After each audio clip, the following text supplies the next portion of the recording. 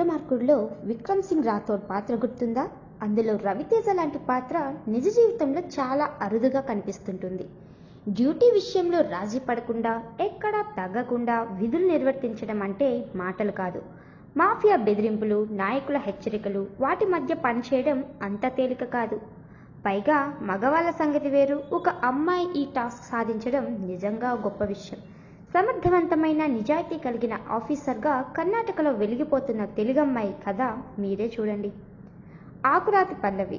కర్ణాటకలో ఈ పేరు ఓ సంచలనం. నిజాయితీ గల ఐఏఎస్ ఆఫీసర్. విక్రమార్కుడ్లో ప్రకాష్ రాజ్ భాషలో చెప్పాలంటే two thousand nine batch Karnataka cadre ఆరు సంవత్సరాల సర్వీస్ తొమ్మిది ట్రాన్స్ఫర్లు అంటే కెరీర్లో ఎక్కడా రాజీ పడలేదన్నమాట. అవును నిజంగానే పల్లవి రాజీ పడకుండా బతికింది. అలానే ఉద్యోగం చేసింది చేస్తోంది.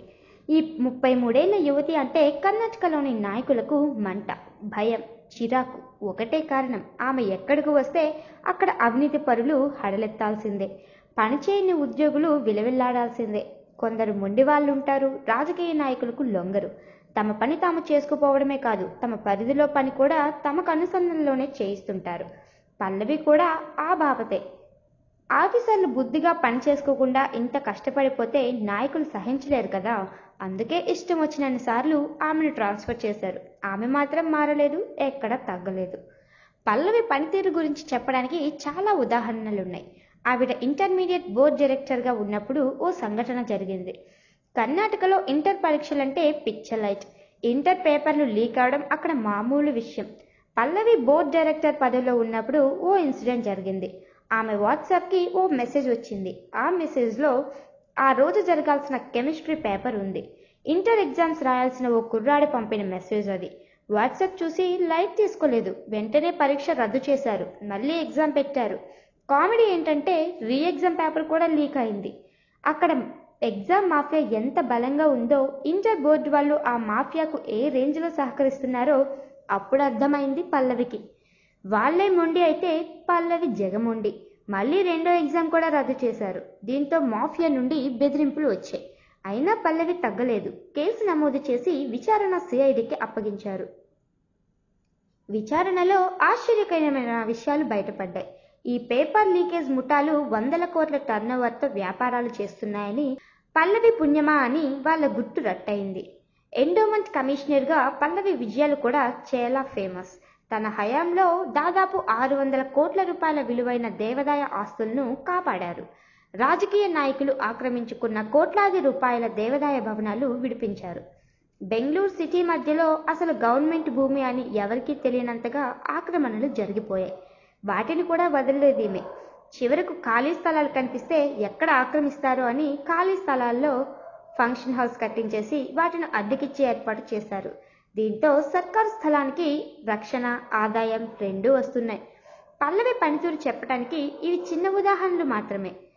సకలేష్పూర్లో సబ్ డివిజనల్ మెజిస్ట్రేట్గా ఉన్నప్పుడు ఓ ముస్లిం మహిళ రిపీట్ ఓ ముస్లిం మహిళ పొలానికి వెళ్ళే దారిని ఓ నాయకుడు ఆక్రమించుకుంటే పల్లవి ఆ భూమిని విడిపించారు. ఆ తర్వాత పల్లవి గుల్బర్గ్ ట్రాన్స్ఫర్ అయి వెళ్ళిపోతుంటే ఆ మహిళ వచ్చి పల్లవి చేతులు పట్టుకుని ఏడ్చేసిందట.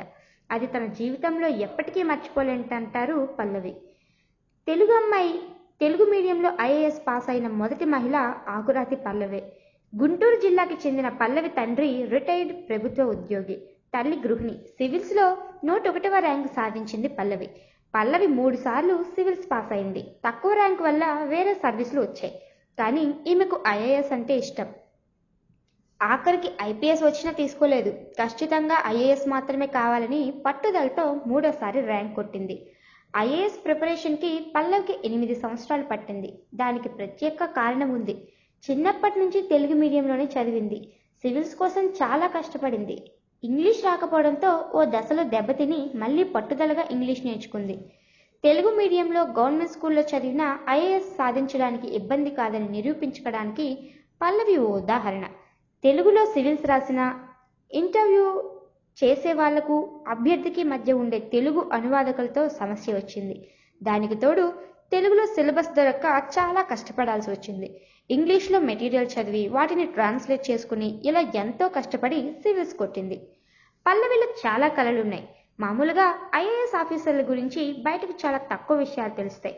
పుస్తకాల పురుగుల్లా ఉంటేనే ఐఏఎస్ అవుతారని చాలామంది అనుకుంటారు. కానీ పల్లవిలో మాత్రం చాలా కళలు ఉన్నాయి.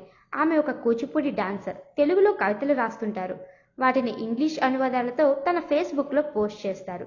శ్లోకాలు రాగయుక్తంగా పాడతారు. Painting Pallavi hobby.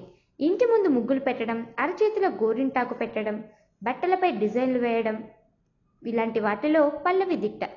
ఐఏఎస్ స్థాయికి వెళ్ళిన అమ్మాయిలు ఇన్ని విషయాల్లో బెస్ట్గా ఉండడం వాటిని ప్రాక్టీస్ చేయడం అరుదైన విషయమే. పల్లెటూళ్ళలో పర్యటనకు వెళ్ళినప్పుడు ఐఏఎస్ అంటే ఏంటో తెలియని ముసలమ్మలు కూడా పల్లవిని బాగా అభిమానిస్తారట. పల్లవి పరిపాలన గురించి వాళ్ళకేమీ తెలియదు కానీ ఆమెను అభినందించడానికి ఇంకో కారణం ఉంది. అది పల్లవి డ్రెస్సింగ్. అవును ఆమె చీర కట్టుకునే తీరు జడలో పువ్వులు బొట్టు కర్ణాటకలోని ఓ పెద్దావిడ పల్లవికి ఓ ముద్దు పేరు పెట్టింది. కనమ్మ అని ముద్దుగా పిలుస్తుంది. కనమ్మ అంటే బంగారు బొమ్మ అనే అర్థం చెప్పుకోవచ్చు. ఉద్యోగం పర్ఫెక్ట్గా చేస్తుంది. అదే పదివేలు అనుకుంటే అంతకు మించి సేవ కూడా చేస్తుంది. సివిల్స్కి ప్రిపేర్ అయ్యే వారికి ఉచితంగా శిక్షణ ఇస్తుంది. పేద అమ్మాయిలకు తన ఇంట్లోనే ఆశ్రయం ఇచ్చి కోచింగ్ ఇస్తోంది. పల్లవి పెళ్ళి చాలా సింపుల్గా ఓ గుడిలో సాంప్రదాయం ప్రకారం జరిగింది. గుడిలో పెళ్ళి చేసుకోవడం ద్వారా మిగిలిన డబ్బుతో ఇద్దరు పేద పిల్లలను చదివిస్తున్నారు. పల్లవి ఇంటి పేరు ఆకురాతి. తన హృదయం చిగురాకు లాంటిదని కానీ తన ఆలోచన బుద్ధి మాత్రం వజ్రమంత కఠినమైనవని తన గురించి చెప్తారు పల్లవి.